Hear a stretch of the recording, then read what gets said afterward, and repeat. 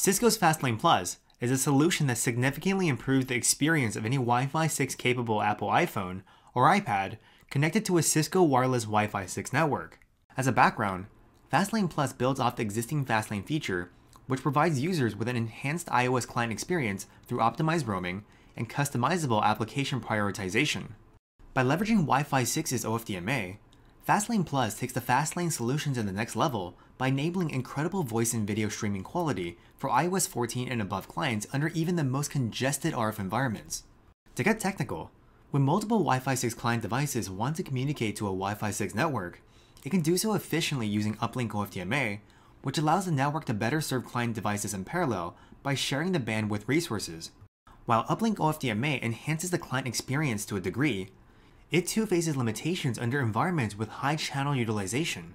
The reason being, Uplink OFDMA is BSR based, meaning the network must periodically collect buffer status reports from client devices to understand what data the client devices plan to send next.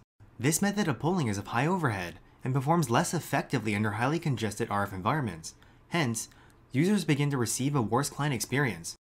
Fastlane Plus, introduced in iOS XE version 17.4.1 and AireOS version 8.10.142.0 on the Catalyst 9130 access point solves this problem by enhancing this existing uplink OFDMA solution through cooperating directly with the joint Apple iOS clients.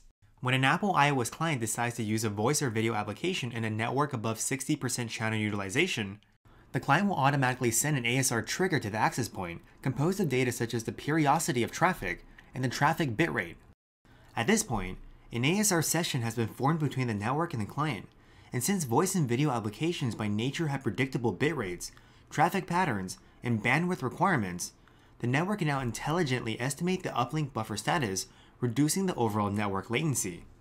These are the key principles of how Fastlane Plus works, but to further prove the solution's legitimacy, we've gone ahead and created an Ixia Chariot performance testing setup that simulates a congested 75% channel utilization network environment full of active client devices. This environment is composed of two 11AC laptops and 16 Wi-Fi 6 iPhone SEs passing voice and video traffic, two 11AC laptops passing voice traffic, and four 11AC laptops passing best effort and background traffic. This test was first ran on a network with Fastlane Plus enabled, and again with Fastlane Plus disabled. To enable this feature on a 9800 controller, we need to navigate to the WLAN page, select our WLAN of choice, then under Security, set the PMF settings to either optional or required. Then under Advanced, enable Advanced Scheduling Request Handling. Viewing both performance tests being run in parallel, you'll immediately notice the superiority of the Fastlane Plus enabled network in every metric category. The Fastlane Plus enabled network has a MOS score of around 4.3 versus the Fastlane Plus disabled network's MOS score of just around 3.0. For one-way delay, we have below 9 milliseconds versus above 10 milliseconds, and for jitter, we have below 5 milliseconds versus above 7 milliseconds. Once the test is completed, we can observe through the trend graph that the Fastlane Plus enabled network consistently outperforms the Fastlane Plus disabled network throughout the entirety of the test. These metrics directly translate into a better or worse voice and video experience, so let's take a look firsthand. With Fastlane Plus enabled, and the same Ixia Chariot test running in the background, we used a Wi-Fi 6 MacBook Pro to WebEx call both a Wi-Fi 6 iPad Pro as well as a non-Apple Wi-Fi 6 client device and streamed a high-definition video to both devices.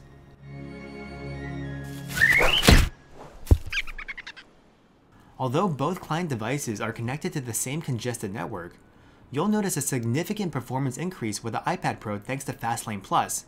To summarize, an ideal scenario where Fastlane Plus is enabled on a network where the channel utilization is between 70% to 85%, we can observe the following.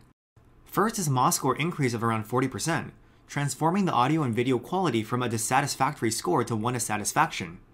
The second is a latency decrease of 30% and a jitter decrease of 10%, further optimizing audio and video quality and reliability. Lastly, we have a throughput increase of 20%, allowing users to stream video content in more high definition, improving the end-to-end user experience.